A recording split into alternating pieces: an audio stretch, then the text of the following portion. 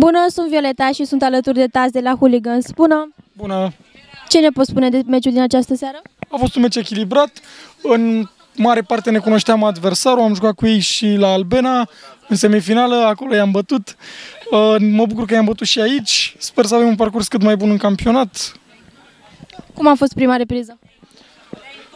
Mm, Cum a fost și meciul, cum am spus, a fost foarte echilibrat. Meciul a fost foarte, foarte echilibrat. I-am condus noi, ne-au condus ei. Ulterior mă bucur că am reușit să-i, să-i învingem. A fost și un autogol la voi în echipă. Cum s-a întâmplat?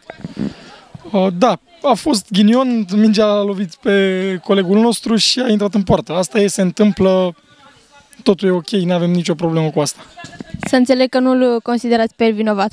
Nu, nimeni nu are nicio vină, fotbalul este un sport de echipă. A doua repriză, cum a fost?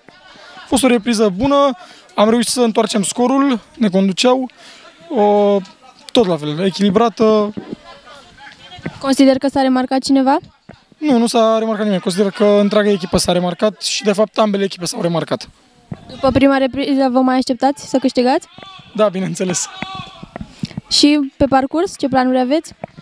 O, sperăm să avem un parcurs cât mai bun, să câștigăm toate meciurile și vom vedea. Multă baftă vă doresc! Mulțumesc! Mulțumesc și eu! Nu uitați să dați like paginii noastre de Facebook Liga Prieteniei și să vizitați site-ul nostru oficial www.ligaprieteniei.com. Mulțumim sponsorilor noștri de la Homa Sport Shop și Cipita. Vă pup!